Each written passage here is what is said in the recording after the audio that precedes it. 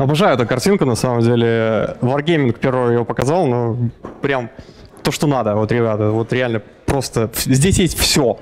Здесь есть и пожары, и котик, и олени, да. Прям вообще огонь. Итак, добрый вечер, меня зовут Ващила Юрий. А, я э, Java Team Lead э, в команде DFinance. Возглавляю команду, которая занимается корными решениями для нашей компании в сфере финтеч. Вот, что мы делаем? На самом деле у нас 6 стран. На этих шести странах у нас 10 э, э, проектов запущенных. Все, естественно, в сфере кредитования. В один, нет, где-то в месяц мы получаем 1 миллион заявок. На всех, конечно, странах, не, не на одной. На всех странах мы в сумме получаем 1 миллион заявок, из которых э, потом превращается в 10 тысяч кредитов. То есть сорян, 100, 100 тысяч кредитов. Вот, то есть 100 тысяч кредитов в месяц мы выдаем постоянно. Этих 100 тысяч кредитов превращаются на самом деле в 30 миллионов долларов. То есть если так посчитаем, что если бы мы выдавали полностью всем, то выдавали бы в месяц 300 миллионов долларов. И тут э, самая интересная вещь, что нужна какая-то система, которая была бы на страже всех заявок и говорила, что вот это реально хорошие чуваки, и мы им отдадим деньги, и они нам их вернут. Самое главное, они нам вернут их. А вот это, ну, в принципе, тоже неплохие ребята, но они могут нам не вернуть, или, а вот эти вообще вообще не вернут. И вот эта система, она берет, анализирует кучу-кучу-кучу данных, естественно, онлайн, без участия человека, и в конце говорит «да», «нет», ну и возможно. Если возможно, то тогда подключаются верификаторы, которые звонят людям и уточняют их данные для того, чтобы все-таки решить, стоит давать деньги этому человеку или все-таки не стоит. Вот. И что же самое интересное, что у нас система такая и была. Она была в самом начале нашей компании, и э, она, ну, если не самая важная, то одна из э, трех самых важных систем, которая отличает нас от э, банков. Потому как э, банки, если брали кредит, то, знаете, оставляете кучу-кучу заявок, они там, не знаю, неделями, может, днями точно что-то делают, а только потом вам звонят, говорят, приходите, забирайте деньги. Мы так не можем, мы должны делать это быстрее, намного быстрее. И более того, так как онлайн-кредитование получилось, э, ну, развивается совершенно недавно, то получается, что первое, куда идут люди, они идут в банк, а потом, если там не получилось, то они приходят к нам. И то есть у нас уже срез таких людей, которые, в принципе, банки отказали. То есть наша кредитная политика, которую мы делаем, должна быть лучше, потому что если банки им отказали, то, наверное, были какие-то у них причины на отказ. И поэтому из вот этого водоворота нужно выбрать тех, которым мы готовы дать займ. Вот. Система такая работала, но решили, надо ее трифакторить. Вот. И тут возникает вопрос, в принципе, который э, возникает у всех которые, людей, которые хотят заниматься рефакторингом, да, то есть зачем на самом деле рефа делать рефакторинг, то есть какие причины у программистов зайти в код и изменить его, то есть и вот первая причина, код должен быть красивым, да, а, неправда, код не должен быть красивым, код должен работать, поэтому это, сразу вам говорю, это не причина рефакторинга, Технологии устарели, это тоже не причина рефакторинга. Да, нам всем классно было бы работать с новейшими технологиями, там, реактивность, э, Kotlin, Groovy, Scala, и, не знаю, какой-нибудь еще новый язык выйдет, э, мы его тоже возьмем. Но это реально не повод. Это вообще не повод. Не хватает тестов. Вы говорите, да, там, э, вот код он есть, он работает, но если я что-то внесу, там все поломается. Да, вот причина, что все поломается, это повод для рефакторинга. А то, что у вас не хватает покрытия тестами в проектах, это не причина рефакторинга, опять же. Вот. Ну и такая э, последняя, что ну, не следуем новомодным архитектурам. Допустим, у нас монолит, который написали 10 лет назад, э, не у нас, э, утрирую, 10 лет назад мы его не трогаем, пусть работает. Э, да, вот это правильно. Если вы говорите, давайте перепишем на микросервисе, а что, что вы получите? Ничего не получите, получите такую систему, которая делает то же самое, да, профита ноль. Поэтому Зачем все-таки делать рефакторинг? Вот мы, зачем мы это делали, да? Мы на самом деле, когда вышли на рынок, у нас был страны СНГ, начинали со стран СНГ, а потом начали масштабироваться. И начали подключать все больше, больше, больше стран, и начали тратить безумное количество ресурсов на доработку кредитных политик наших, потому как э, реально такая тяжелая вещь, реально это был монолит, и вносили когда правки, там, не знаю, поменяли две строчки, раз падение конверсии на 10% окей, падение, давайте что-то исправим, да, и начинаем править, опять же, тестирование полностью монолита, доставка этого монолита занимает время, и в это время вы уже теряете деньги, это плохо. Опять же, устойчивость, э, гибкость, доступность, ну вот, доставка, доставка. Нужно доставлять все быстрее, потому что мы как стартап начинали и, в принципе, работаем до сих пор в таком режиме, что идея появилась, ее сделали, и как можно быстрее нужно добавить, доставить ее на продакшн, потому как, во-первых, ее нужно отработать, и, э, как правило, она что-то исправляет и делает что-то лучше. И поэтому вот это время мы теряем деньги или не зарабатываем их. Ну и последняя э, причина, когда надо делать рефакторинг, это команде больше нечего делать. Ну, я не знаю, может у вас были такие случаи, у нас, к сожалению, нет. Вот. Но чтобы люди не простаивали, как в армии, да, нужно, чтобы они чем-то занялись. И э, чтобы все выиграли, получается, э, с точки зрения бизнеса, получает э, хорошую систему от рефакторинга, а программисты поигрались и прокачали свои скиллы. Тоже классно.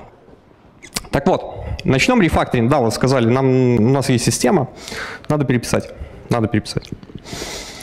А, что мы делаем, да? Ну, пришли в систему, открыли код, начинаем анализировать и искать проблемы. Да?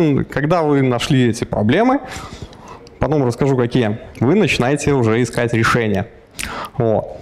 Какие же проблемы могут быть? Вот как вы думаете, какие проблемы могут быть у кода, который создавался очень быстро для того, чтобы выйти на рынок, и просто проверить теорию. А, ну, отсутствие тестов, да, но это не самое главное. Какая проблема самая главная?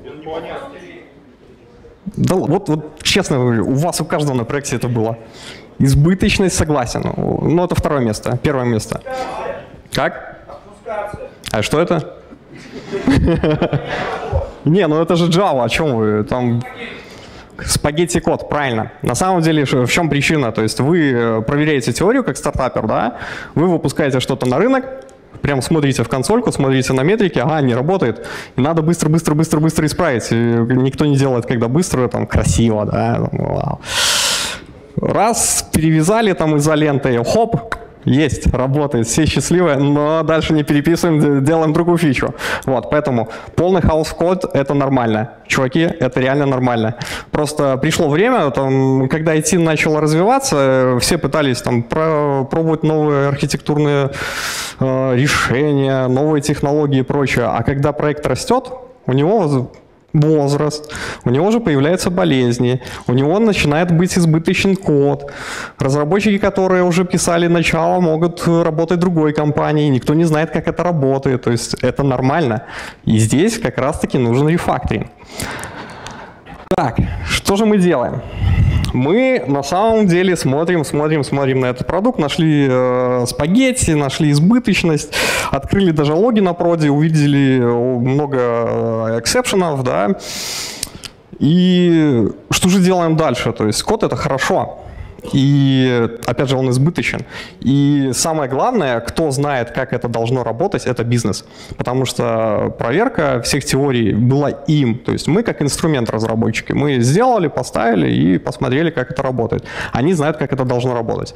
Поэтому приходим к бизнесу и спрашиваем, ребята, а чего же вы хотите видеть-то? И они говорят, «Э, вот знаете, у нас есть э, разные виды принятия решения, да? Вот есть скоринги, например. Мы э, наняли специальный риск-отдел, который делает скоринговые карты которые на основе кучу-кучу-кучу данных расставляют индексы, что-то вроде нейронных сетей, но более в человеческом виде. У нас есть э, просто банальные вещи, которые условия там. Мы не можем выдавать э, лицам без работы деньги и моложе там определенного возраста и старше определенного возраста. Но очень большая вероятность, что нам не вернут их. А мы все-таки хотим деньги получить назад. Вот. Ну, есть блок-листы, да. Тоже, в принципе, ну это уже полное совпадение. То есть вы проверяете, что вот эти данные, там у вас есть какой-то нагруженный базе данных. Говорит, и в принципе вот это все, а там уже от страны к стране оно разнеется, потому что у нас есть различные источники, из которых мы добываем э, данные, там какие-нибудь кредитные бюро, у нас есть там э, сервисы по снимкам Э, браузера, еще что-нибудь, э, ну, которые определяют уникальность браузера, например, да, чтобы выявлять мошенников. Там у нас есть еще какие-нибудь технологии для того, чтобы э, обработать еще кучу данных, запихнуть ее в нейронную сеть э, и получить тоже результат, да. И это все нужно скомпоновать, чтобы она работала. Э, да, вот на самом деле я показываю код, это уже немного после рефакторинга, так, чтобы вы э, смотрели и у вас в голове откладывалась э, примерно суть проблемы. Вот. На самом деле, следующее, что мы сделали, ну ладно, не следующее, мы на самом деле сделали в конце, а надо было сделать сразу, и вот об этом очень сильно жалеем. Бизнес говорит, там все просто. Там реально все просто, нечего делать, изи. Вот.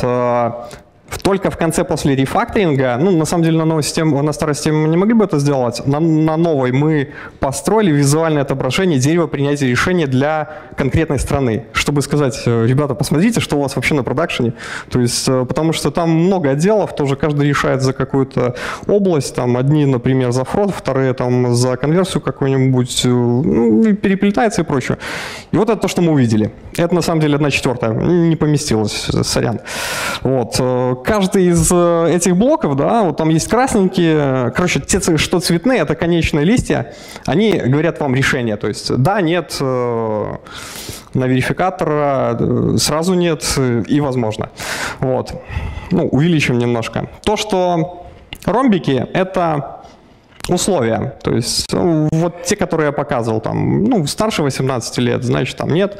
А младше 18, о, наоборот, старше 18 лет, э, значит, э, не нет, то есть да. Идем дальше, а младше сразу нет, да. А кубики — это еще самое интересное. Так как система, опять же, в продакшене, и она реалтаймовая, то продукт хочет еще с ним по поиграться, да. И есть АБ-тесты, которые, в принципе, говорят, что давайте проверим пару теорий, ну сразу. И потом, которая выиграет, мы ее включим. Вот. И кубики, там они есть. Это эксперименты. Это дополнительно немного хаос в нашем коде, который э, четко не скажет, как вы шли по системе. Алгоритма как такового нет. Это э, рандомайзер решает. И это еще до нейронной сети. Вот. Поэтому, что мы делаем? А, мы сразу с бизнесом договоримся на метрике. Метрики — это не то, сколько у вас там будет багов, сколько у вас там будет, э, э, не знаю, времени занимать какая-нибудь фича или как это будет сделано да, конкретно. Метрики — это чисто бизнесовая вещь, потому как э, по метрикам вы в конце договорите, что работа сделана. То есть, допустим, а, Метрика будет, э, это мы хотим управлять конверсией быстрее. Быстрее это говорится, что мы, допустим, э, если увидели проблему, мы должны ее исправить там, в течение часа. Да? То есть вы должны позволить э, нам это сделать, и система должна это делать. Вот. Метрика также является это уменьшение стоимости запросов во внешние службы, потому что они реально каждый стоит денег. Если мы каждому десятому только опруем, то мы 90% запросов делаем зазря, но платим за них деньги. Поэтому хотелось бы здесь и сэкономить. Это такой хороший на самом деле участок, на котором можно сэкономить. А, метрики, помимо а, управления конверсией, еще хотелось бы управлять скоростью доставки, потому что, окей, там, если конверсия, это мы нашли какую-нибудь проблему, мы ее исправили и доставили на продакшн, да? И, а, но в этот же момент идет разработка новых фич, это прям вообще вот вы исправляете баги, а там уже вторая команда дописывает другие фичи. Вот. И э, хорошо, если они друг с другом общаются, это вообще огонь. Вот. Поэтому раньше доставка была какая? Эм, спринт, двухнедельный. То есть задача попала в спринт, потом она еще неделю тестируется, на следующую неделю она доставляется. Если срочно, делается хотфикс. В итоге получается 6 недель.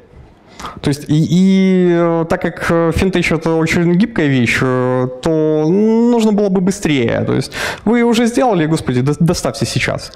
Ну, тестиру, тестирование все-таки сделайте, но потом доставьте, да, не ждите 6 недель. То есть, если вы сделали в первую неделю задачу, потому что никто не делает, конечно, задачу вот в конце самого спринта, все сразу, поэтому. Если вы сделали ее в начале, протестируйте, доставьте. То есть, хотелось бы реально по мере готовности.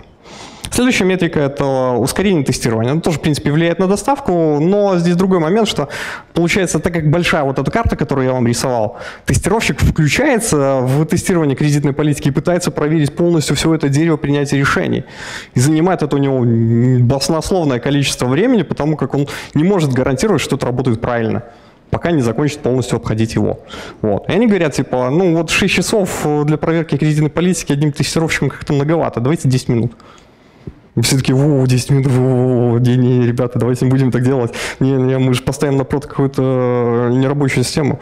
Можно, можно, 10 минут, изи. А, так, вернемся назад. Дальше что? Вот с метриками мы договорились. Дальше мы эти метрики мониторим. И когда эти метрики э, выполняются, мы оцениваем результат, договоримся с бизнесом, и это уходит в прод. Ну, логично. Самое интересное, что между началом рефакторинга и концом рефакторинга вторая команда пилит фичи. Не забываем об этом, они не пилят фичи в старой системе. И ваша э, задача — это обгон, обгон их.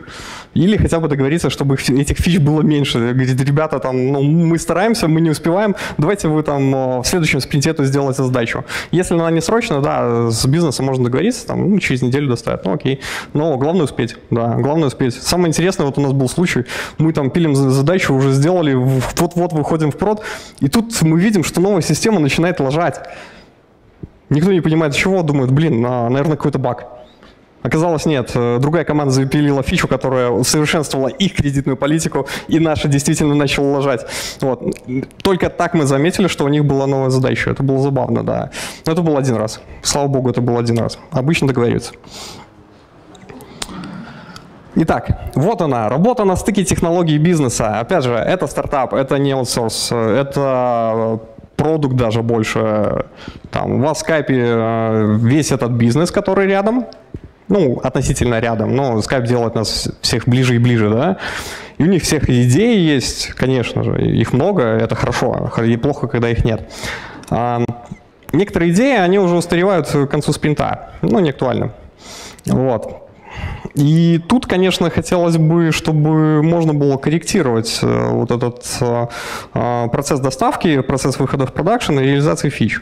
Вот. Плюс хотелось бы, конечно, ему устраивать АБ-тесты, потому как ну, никто не знает, как поведет. Реально, был случай, когда мы думали, что вот ну, не может такого быть, что по этой ветке пойдут люди. Ну, казалось бы, вообще нереально. Она выиграла там с большим-большим отрывом. Прям вообще. Никто не ожидал. Но люди повели себя иначе, поэтому нужно. Следующие пункты – это больше и нам, и разработчикам, и бизнесу нужно. А, никто не может сказать, что у вас есть система, в которой нет бага. Баги есть. Баги будут всегда. Это нормально тоже. Это часть нашей жизни разработчика. Поэтому, блин, было бы здорово, если бы мы знали, что вот этот э, человек, которому мы отказали, или наоборот, почему-то дали деньги – Почему мы дали ему деньги? Он же вроде не очень хороший. Поэтому было бы здорово прогнать его и узнать, как он прошел это дерево решений. Причем, опять же, дерево решений могло поменяться. Нужно узнать на то время, на которое он проходил. Плюс к этому еще нужно добавлять новые версии, и когда вы добавляете версии, помните, я говорил, что нужно 6 часов сократить в 10 минут. На самом деле не важно, что он пройдет по э, дереву решению полностью. Достаточно нагрузить систему теми людьми, которые у нас уже есть на проде, накормить ее и посмотреть, э, насколько approval rate совпадает с тем, что мы собираемся доставлять. То есть если он раньше был там 20%, а стал 22%, ну, наверное, он выиграл, поэтому все там хорошо. Если он стал там 15, то ищем проблему, по-любому где-то должен быть баг. Э, плюс к этому еще отслеживаем метрики по переходам по деревьям. То есть если они совпадают и отличаются только те участки, которые мы новые ввели, то тогда окей. Если есть глобальные отличия, то не окей, разбираемся дальше. Ну, в принципе, тестировщик нужен, но уже не так часто и не настолько больше времени. Вот. И последний пункт делаем как было. Да, а, такое было, потому как, смотрите, это вообще забавная ситуация. То есть это вот система, которая работает, да, а, она работает там 5 лет, например, да, она, она уже состоялась как финансовая система, у нее есть свои причуды, у нее есть свои знания, но мы находим баг в кредитной политике, исправляем ее, вот честно, вот просто исправляем, потому что по этой ветке никогда никто не ходил, и approval rate падает. То есть, блин, и бизнес говорит, господи, верните все как было. Он говорит, ну там баг, верните как было, быстрее, быстрее, потому что мы теряем деньги, реально. Давайте, давайте. Он говорит, ну, ну как, то есть мне нужно самому написать этот баг? Говорит, да. Окей, возвращаем как было. Это что касается самой системы. То есть э, система реально сложная, реально через нее проходит очень большое количество людских анкет. Вот. Эм, и э, время обработки, в принципе, мы на Мексике тратим примерно 10 секунд на то, чтобы решить, что отдаем, максимум 10 секунд, отдаем деньги или нет. 10 секунд, по-моему, очень неплохой вариант. Что касается с точки зрения кода, да, ну, тут вообще все по классике. Э, писать хороший код на самом деле несложно. А достаточно руководствоваться не какими-то там принципами, которые описывают там, не, не знаю, гексагональную архитектуру, ДДД и еще прочее. Намного проще. Достаточно знать неплохо Solid. Я не сомневаюсь, что все тут присутствующие знают этот принцип. Вот. Но было бы здорово, если бы еще все, все присутствующие здесь его использовали. Причем принцип, а поднимите руки, кто не знает. Ага, все знают. Супер. Принцип распространяется не только на код. Если мы говорим это про микросервисы, это также касается микросервисов. То есть мы идем по уровню выше, выше, выше, и у нас он всегда одинаково работает. Пишем по правилам Solid, у нас все окей. Dry ну, не повторяем. Если видим, что действительно код у нас где-то дублируется, где-то косяк. Ну, ладно, пусть дублируется дважды, трижды уже точно косяк. А, делаем просто. Опять же, сложные вещи не работают. Никогда не работали и не работать не будут. Да? Даже если они будут работать, вы будете тратить бесконечное количество ресурсов для того, чтобы их поддерживать. И последний, мой самый любимый принцип – это выкидываем то, что нам не нужно. А, да, действительно, опять же, там куча булшита накопилось с годами в системе, поэтому вы, когда читаете, не надо повторять э, полностью ту систему при рефакторинге, которая у вас есть.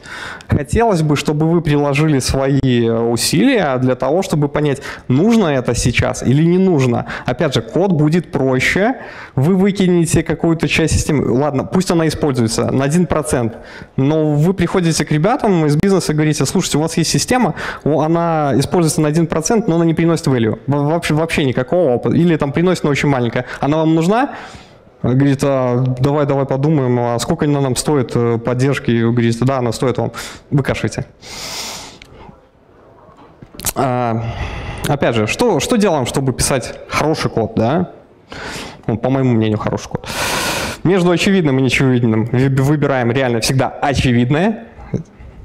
Дальше будет небольшой пример. Вы со мной наверняка не согласитесь, ну, по крайней мере, не все, но я попытаюсь вас переубедить. Классы не должны знать про Spring. Вот это тоже классная вещь, потому как э, в микросервисной архитектуре все базируется, как всегда, на Spring, Spring Boot. Э, поэтому давайте писать свою бизнес-логику так, чтобы она не знала про какие фреймворки. Ни Spring, ни Hibernate, там, господи, не все остальное. Если это будет так, Неважно, там, переключили базу данных, даже не SQL, не SQL, на Mongo, например, ушли, без проблем это у вас работает, потому что это ваша бизнес-логика, она в чистом виде, она работает так, как вы хотите. Неважно, какие вы фреймворки будете использовать, она будет работать всегда. Фреймворк вам и помогает как инструмент. Никогда не перемешивайте его со своим кодом. Вот обычный пример. Не знаю, плохо видно, хорошо. К чему мы на самом деле договорились?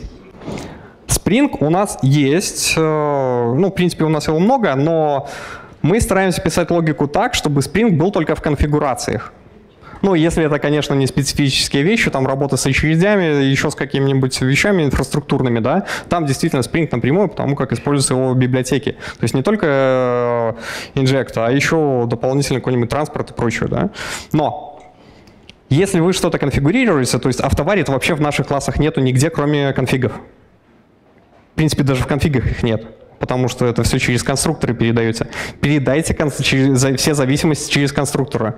Спасет вам потом очень много сил, и головной боли у вас не будет. Потому как, ну, блин, вот то, что очевидное и неочевидное.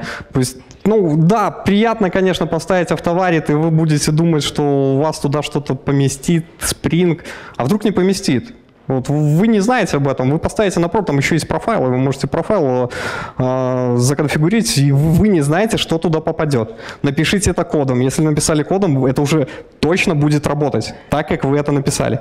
Поэтому ставите бин только там, где инициируете бины, и конфигурайшн э, в самом начале вашего вашей конфигурации. И причем другие конфигурации, которые у вас есть, вы тоже передаете в конструктор этой конфигурации тогда вам не нужен даже никакой плагин от идеи, никакой плагин от Eclipse. Вы сразу с помощью использования кода знаете, где этот бин создается и как оно будет работать. То есть у вас нету там, не знаю, если вы работаете в идее, каких-нибудь таких серых методов, они постоянно где-то используются. И код такой жесткий. В технически, если бы мы не использовали какие-то фишки спринга, мы могли бы заменить там, не знаю, коином, и это тоже заработало. Ну да, нам, нужно было присесть на конфигами, но код у нас заработал бы на коине, например, или там на кадеине. Следующее. Вот э, если честно, у программистов очень много свободы, да, потому как, э, ну, хорошо, если у вас классная команда, вы там ревьюете друг друга, но, по крайней мере, у вас должны быть одни убеждения. Намного лучше, если бы программисты были в каких-то рамках. А, тут, опять же, ничего такого сверхъестественного, это обычная вытяжка из книги Clean Code, поставьте себе в рамки. Первое, что пишите реально короткие методы, вам тогда не нужны комментарии. Комментарии — это признак плохого кода. Не верите, ну, да, не согласитесь, но реально плохо. Если вы описываете словами, почему и как это должно работать, значит, это не очевидно в коде. Значит, этот код лучше переписать так, чтобы он был более очевиден. Поэтому пишите короткий метод, называйте метод, что он делает, и это ваши есть комментарии названия метода. Замечательно. Небольшое количество параметров. Партеров. Э, автозамена небольшое количество параметров в методах и конструкторах. Да? Знаете, как этот? Один хорошо, два нормально, три, а, ну, в принципе, нормально, четыре что-то не так. Почему что-то не так? Потому что либо вы это, в этом методе делаете чего-то очень много, либо ваш класс зависит на чего-то очень много. И, в принципе, это тогда не один класс, а два, не один метод, а два или там 3, или 4, или 5. окей, если там создание какого-нибудь пользователя, то ну, действительно передайте вы не по э, параметрам все его значения, а соберите в кастомный класс и запихните. Тоже сэкономит вам время.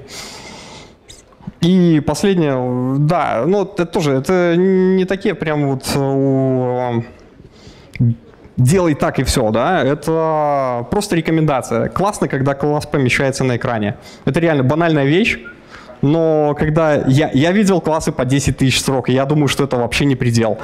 А, я не знаю, сколько памяти у разработчиков, которые писали эти классы, но у меня не помещается это в голове. Я не понимаю, как это работает. Я дохожу до третьей вложенности, и все. У меня пропадает первая. Ну, еще такая минимальная вещь. Э, то есть э, вы когда начинаете рефакторинг, ну, вы же делаете все с нуля, как правило, да, напишите пару инфраструктурных модулей, в которые выложите э, общение с базами данных, с каким-нибудь транспортом, ну и метрики, обязательно метрики, как же без них. А почему? Ими тогда проще управлять.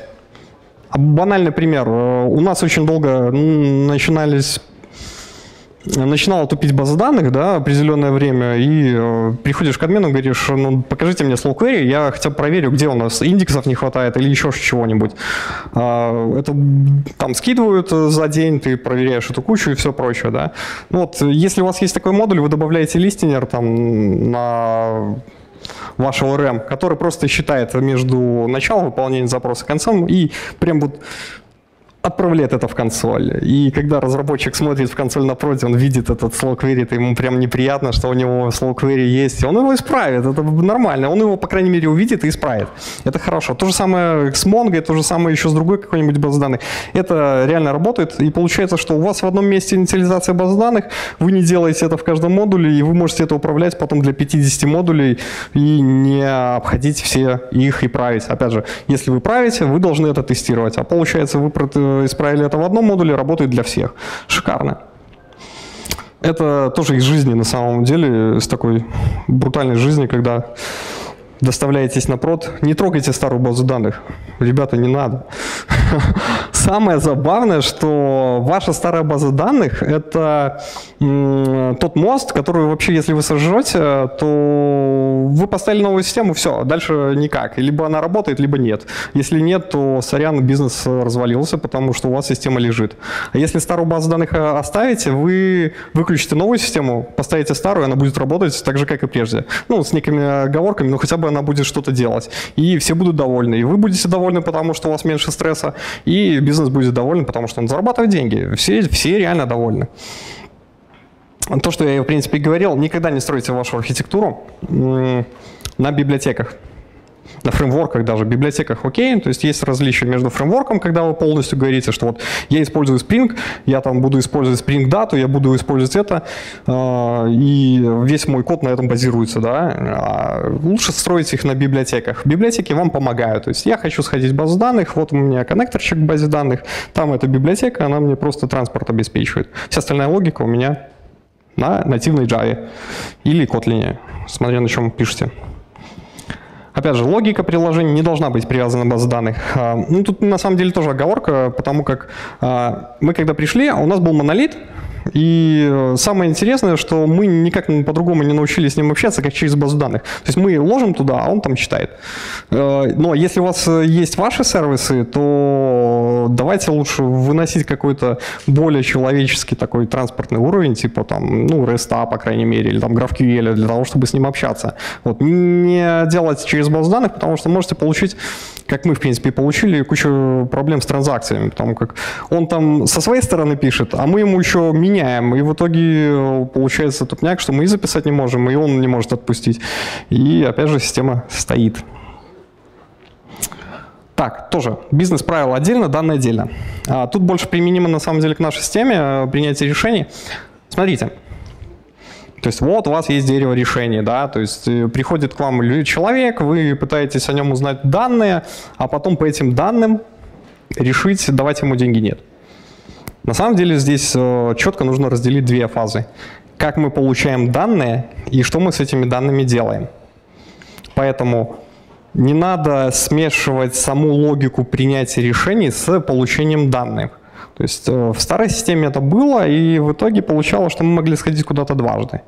Хорошо, когда мы сразу дали данные на вход, система она переварила и сказала ответ. А самое прикольное дальше будет, что следующим этапом для нас было это внедрение DSL. То есть в самом идеальном случае мы отдадим это бизнесу, и он пишет на DSL. Он не знает, что за вызовом конкретного филда, который у нас есть, стоит лазит загрузка в кредитное бюро с настроенным там трехуровневым кэшированием и прочим. То есть он просто вызывает и э, получает свой э, результат.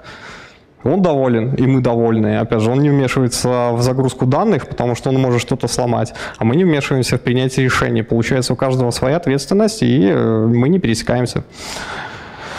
А, и еще один замечательный пункт у нас много, опять же, внешних ресурсов, из которых мы берем данные, и мы их постоянно пытаемся сохранить базу данных, как они приходят. Поэтому самое правильное, что мы на самом деле сделали, это автоматизировали работу разработчиков. То есть э, не надо создавать там э, саму вручную эти таблицы, скрипты писать, не надо создавать там уровни кэширования для этого определенного бюрошки. Давайте их сгенерим на код, кодогенерации. Вообще огонь. И поэтому мы ушли на самом таком уровне не написание кода, а написание метамоделей. То есть мы описываем, какие данные мы получаем. То есть раньше мы описывали классы, А сейчас мы описываем, как выглядят эти данные. И в итоге, ну вот, например, здесь есть э, ссылка на скоринги, там в дейду ходим и бонусы еще получаем. Когда у нас есть это описание, мы по этому описанию уже можем сами сгенерить базу данных в реал-тайме. Э, как только что-то новое появится, система скажет, о, прикольно, в схеме появились новые данные, давайте мы сгенерим. И потом эти данные сразу же появятся в ретро-пересчете, и потом эти данные сразу же закешируются. Короче, полный фарш. И разработчики еще в этом не участвуют. Потому как у нас э, в начале было монолит, потом у нас было там 3 или 4 модуля, которые делали, что вот э, обрабатывали данные, потом объединяли данные и потом их сохраняли еще дополнительно. Вот. Когда мы перешли от э, классов к метамодели, то получилось, что у нас один модуль, и он, в принципе, все делает сам автоматически. И задачи на разработчиков стали весить в спринте меньше. Следующее. Следующий пункт, тоже очень важный, на самом деле. Приходит каждый, наверное, разработчик к этому. Наследование хорошо. Я не говорю, что это плохо. Наследование крутое, э, это прям вот ну, принцип ООП, куда же нам против них переть. Но если мы хорошо знаем Solid, то Solid на самом деле, он говорит все этих пять пунктов об одном. А, декомпозируйте. Декомпозируйте свои задачи, свой код. И когда вы декомпозируете, вы можете делегировать этот код. И таким образом, когда вы разобьете что-то на там, не знаю, сотню мелких кусочков, вы эти кусочки можете использовать в любом порядке. И таким образом у вас был один метод, допустим, ну ладно, не один метод, один класс, который делал там сохранение в базу данных, вычетку куда-то, кэширование и прочее. Вы разделили это все на блоки и можете их применять все вместе в разных э, последовательностях, можете вообще не применять и получить большее количество написанного кода, который, в принципе, уже оттестирован. А так как, кстати, они мелкие, то их и тестировать намного проще, потому что они реально делают только одно что-то. И, опять же, переиспользовать проще. Ну вот, э, банальный пример. Есть у нас эксперимент-сервис. Самое забавное, что я когда писал эксперимент-сервис, там был один метод. Это roll-эксперимент. Э, прошел год, там появилось, я, я не буду сколько их э, считать, много. Но если вы увидите, вот сразу отслеживается ситуация, когда вам нужно переписать этот сервис. Да?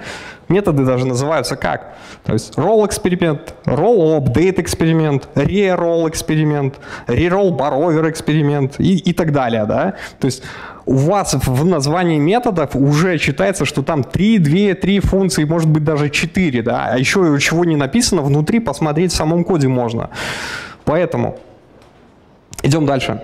А, выкидываем все ненужные методы, оставляем roll и find в принципе, потом подумали, говорим, ну, зачем нам find, оставляем roll.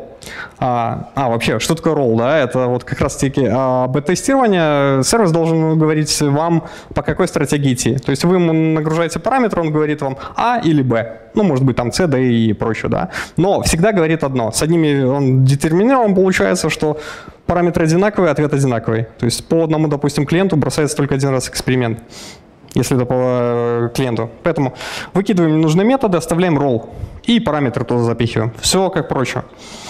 И пишем на самом деле ну, 4-5 классов. Да? Это experiment cached handler, experiment roll handler, который, собственно, сам и бросает вот этот вот рандомайзер. А, find handler, который, не знаю, смотрит в базе данных, какая была предыдущая вариация по этому эксперименту. Ну и эксперимент persist handler, чтобы, ну если бросили, давайте сохраним. Вот. Ну, пример простой на самом деле.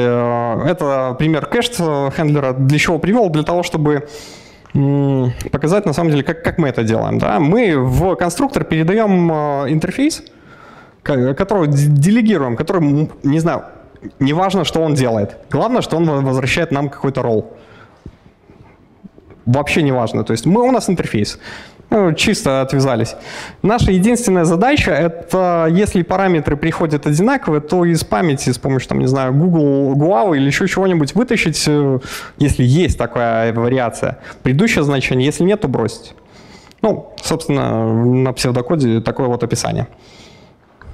О, прикольных два. А, в первом этот э, optional было. Мы на самом деле перешли на React, поэтому э, сделали моно. Ну, интересный пример. Да. И тут получается какая вещь? То есть вот мы написали 5 этих методов, Я не говорю, что это нужно везде делать, да. Э, там архитектура MVC вообще не отменяется. Она ну, не знаю, классическая и используется повсеместно. Нужно использовать только там, где вы хотите получить максимальную гибкость. Опять же, я возглавляю core-команду, и нам нужна эта максимальная гибкость, потому что за нами 10 проектов, которые будут это использовать. В каком э, в какой комбинации они это будут использовать, вообще неизвестно. Но поэтому мы смотрим будущее и разбиваем вот на мелкие вещи для того, чтобы э, не дописывать потом код, а переконфигурировать его.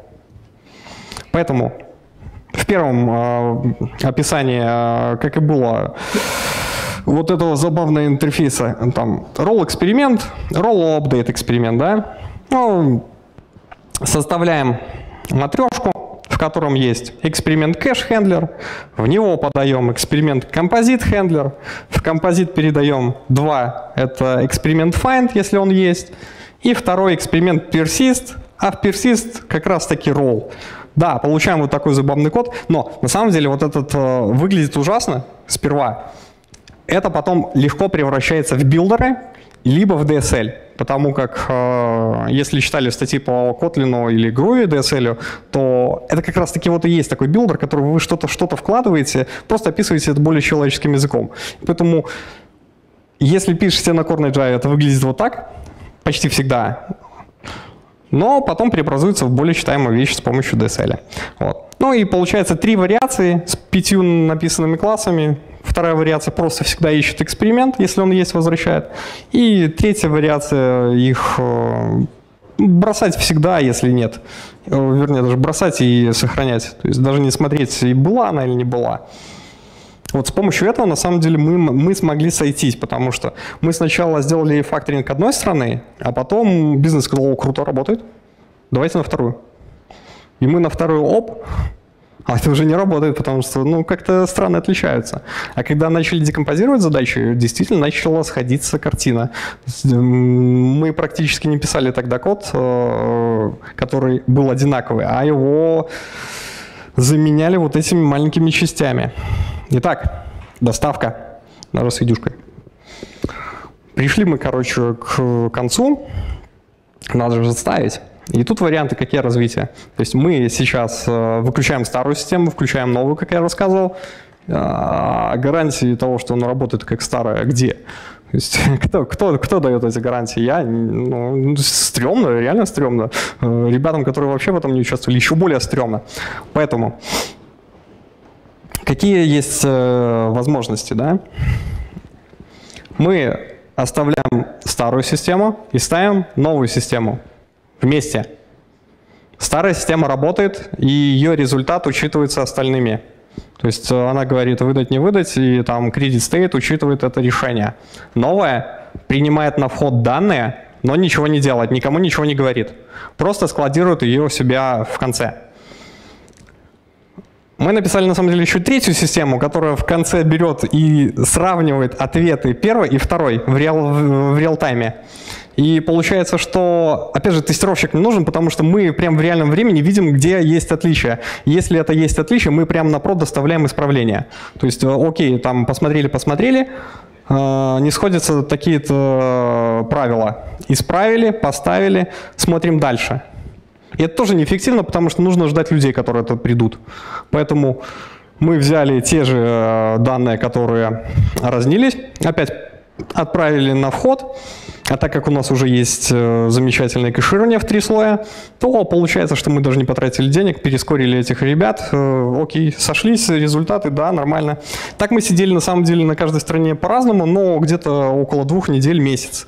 Когда в конце э, две системы сходятся на 95-96%, бизнес говорит «согласен».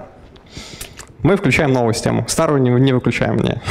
Но теперь решение принимает новая система. Вот она э, отправляет другим свои знания, но старую держим. Старую держим на подхвате. Зачем? А, косяки все равно случаются. Косяки случаются, как правило, уже, если проверили полную систему, на стыке нашей новой и всех остальных. Поэтому, опять же, нужна возможность э, сделать шаг назад. Старую систему, опять же, включаем на продакшн, новую отключаем, ищем проблемы, исправляем, доставляем. И так поэтапно. То есть э, примерно, опять же, две, две недели, месяц э, на вот эти игры, а потом еще две недели на то, чтобы включить, выключить, включить, выключить и полностью мониторить э, то, что происходит у вас там, в логах, в метриках и прочее, вместе с бизнесом. Они смотрят, вы смотрите, все счастливы. Вот, мониторинг. На самом деле, самое прикольное, что мы получили, когда его доставили, мы начали падать по памяти. Говорит, как так? Собрались классные ребята, написали замечательную систему, там, реактивная система, все замечательно, быстро работает, идеально. Ну, падает по памяти, утечка памяти где-то. А, перепробовали профайлеров, кучу там дампы снимали, а докер просто ее там ночью убивает, переподнимает, и вообще непонятно, что там происходило. Надо мониторинг. Сразу говорю, ребята, настройте мониторинг. Настроили мониторинг, взяли э, в конце концов микрометр, добавили кучу-кучу-кучу продюсеров для микрометра, поставили, получили замечательную картинку. А самое прикольное, что когда мы другими профайлерами смотрели, у нас там в хипе вообще идеально, там пилы, красиво, но все равно падает. Оказалось, что так как мы используем реал-тайм систему и сделали так, чтобы бизнес, когда правит DSL, он просто пушил их э, в гид, а мы с э, прода читали из гита этот DSL и прям заливали без рестарта его, э, Получилась интересная ситуация. Мы, мы, мы используем GUI, и он, в принципе, очень динамичный язык, поэтому он создавал новый класс и забивал Metaspace. Честно говоря, я вот при своем опыте никогда не подумал, что Metaspace может так быть забит. И поэтому там прям видно была такая картина вверх, что идет, идет, идет, нажирается именно Metaspace, э, в итоге докер убивает по памяти и, так, и пишет типа out of memory, там, ну, что-то типа того, и непонятно, что вообще происходило. Вот. К сожалению, не увеличил картинку, там вот видно, что Metaspace, он дрожит.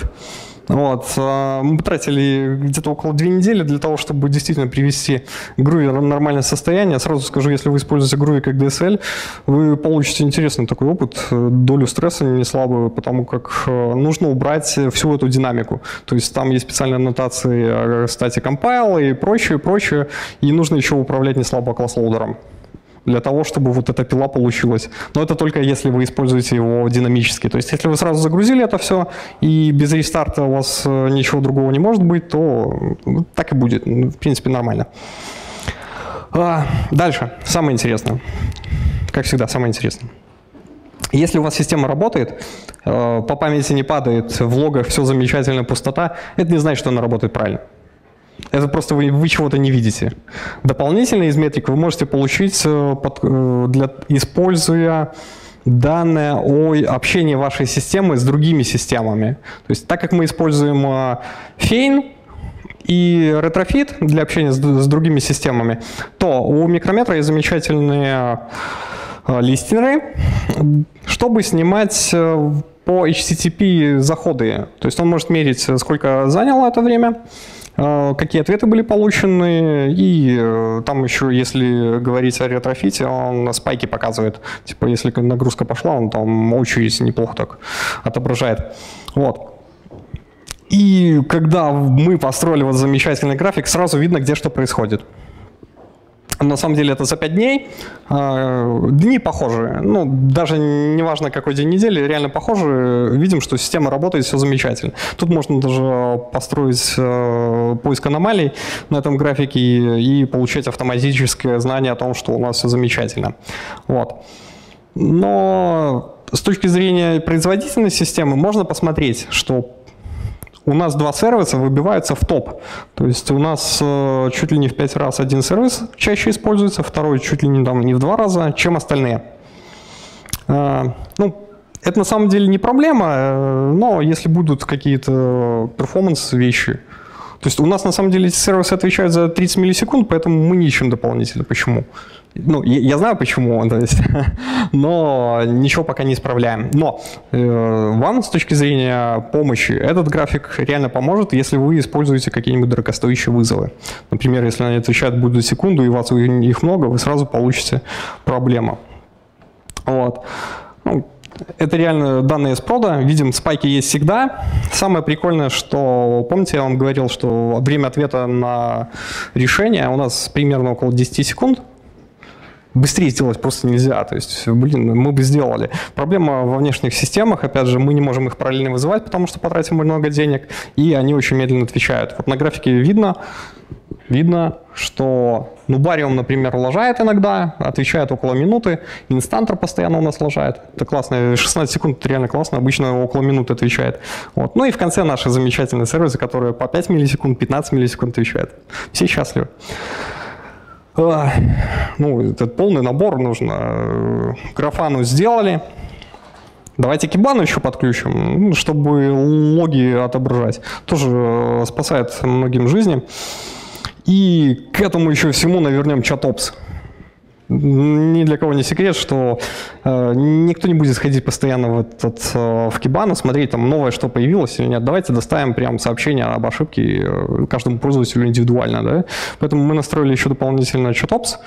Мы взяли, э, э, блин, RocketChat. Да, мы взяли RocketChat, потому что можно было его допиливать. И э, добавили туда вывод из графаны и добавили туда вывод э, эксепшенов, которые происходят на проде. Опять же, когда у вас система 2 даже стоит, вы должны реально быстро реагировать, потому что пропустите момент. И э, случается что-то на проде, получили сразу ошибку, нашли ошибку, доставились в моменте. Все, по, по, этот, по возможности. И тогда, итого, что в итоге получили, да? Система написана, скрипты, те, которые новые пишутся – их уже можно проверять. Тестировщики, в принципе, нужны, но не, не настолько времени, потому как можно проверять на существующих данных и прямо в продакшене. Причем самое забавное так сделано, я говорил, что мы э, дали продак, продуктам доступ в гид, у них свой репозиторий, конечно, они пушат это в pull реквестом прям научили pull реквестами пользоваться, сказка. Вот, делают pull request, на pull request э, срабатывает джоба, автоматически прогоняет на реальных данных, в конце говорит э, метрики, что отличается, и они говорят, окей, мержим мастер. Мержим мастер попадает на прод. Не сразу, там через определенное время, но попадает. Опять же, тестирование только что кода, который изменился, потому что мы его декомпозировали на небольшие участки. И э, если новая задача добавляется, то протестировали новую задачу, старые оставляются как есть. Как мы, мы, мы реально даже не правили эти файлы. А, можно восстановить конкретный расчет для конкретного клиента, вот для поиска проблем, когда они есть, они всегда есть. Это реально работающая система, они всегда будут. Поэтому здорово, когда у вас есть понятие, что там произошло, а не вы гадаете, как, как и что там было. А, DSL для бизнеса. То есть, э, ну, тут такое на самом деле, потому как э, ребята бизнес все-таки не программисты, поэтому они напишут э, даже на DSL замечательный код. Тут скорее вместе, но, по крайней мере, они понимают, как этот DSL работает и могут подтвердить, да, ты сделал правильно. Потому что раньше они скидывали вообще Excel-карты, и из этих Excel-картов перегонялось все в Java. Там некоторые разбирали Java, а некоторые нет, а с DSL проще. Наша замечательная доставка по готовности, потому что если нет дополнительных интеграций, все доставляется по pull реквестам Естественно, писали систему с нуля, ну, грех не было взять новый стек. Кстати, сразу скажу, что а, берете новый стек, это же дополнительная комплексити для вас, не все его знают, да, и будете косячить. Мы, мы взяли реактивность, мы взяли Kotlin, там еще куча много всего, но там мы не брали это сразу, то есть пишите на Java, тесты пишите на Kotlin, тренируйтесь на тестах. В итоге, опять же, pull request команда пройдет, подскажет, где что не так. Вы натренировались на тестах, давайте Kotlin писать классы. Здорово, и в итоге все довольны, опять же. А, да, и самое забавное, что задач стало не меньше. То есть э, вот систему переписали, это парадокс. Чем быстрее работает система, тем больше у вас будет задач на ее изменения. И чем стабильнее она будет работать, потому что раньше, опять же, уходило 6 недель на доставку, и ребята выбирали ту задачу, которую они хотят пропихнуть. И там э, решение принималось на уровне э, разбора BM. А сейчас, получается, они пихают все, что угодно для того, чтобы можно было АБ-тестом проверить и потом решить, да, нет. И, в принципе, это тоже замечательно, потому что ребята могут проверять свои теории. Вот. В принципе, у меня все, можете задавать вопросы.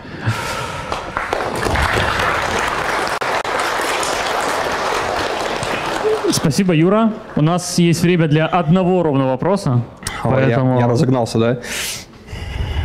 Да. Нет вопросов? Ну ладно. У меня есть вопрос про комментарии. Ты сказал, что комментарии не нужно писать. И кто Не, со- ты, ты смотри, то есть э, я не говорю, что их не нужно писать. Я говорю, что если вы их пишете, надо задавать вопросом, зачем вы их пишете. То есть это не говорит, что давайте мы запустим там специальный анализатор, который будет проверять, есть ли у нас в комментарии в коде и падать. То есть надо писать. Надо писать там, где реально жесть. Я понял. Хорошо. И вопросик? Я здесь. Здравствуйте. Слушаю. Добрый. Spring меня зацепило. Автовайреды Я знал, я знал. и конструкторы. Что может случиться со мной через 10 лет, что мой сегодняшний микросервис, я захочу оттуда выбросить Spring? А, а вы не обязательно захотите оттуда Spring выбросить. Смотрите, то есть мы пока писали а, одну часть системы, переключились на другую, а у нас базовые компоненты, мы захотели использовать пятый Spring, потому что там были реально вещи, которые нам нужны. Опять же, та же реактивность, та же легкость и прочее, да. Мы не смогли это сделать сразу. Они отличаются. И если у вас Spring бы стоял рядышком, вы бы смогли переписать только часть. А так получается, что у нас даже сейчас в системе есть некоторые модули, которые мы, в принципе, не трогаем, потому что они у нас работают, да, и э, очень давно не модифицировались. А, Там нужно приложить усилия. Так просто он не взлетит. Поэтому выйдет там, не знаю, Spring 6, тоже, ну, хотелось бы спрыгнуть легче.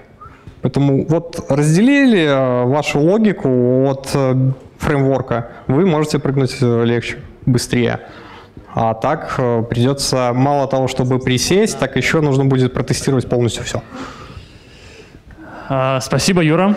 У нас для докладчиков новые подарочки, Супер. которые помогут в отпуске и в походе в магазин.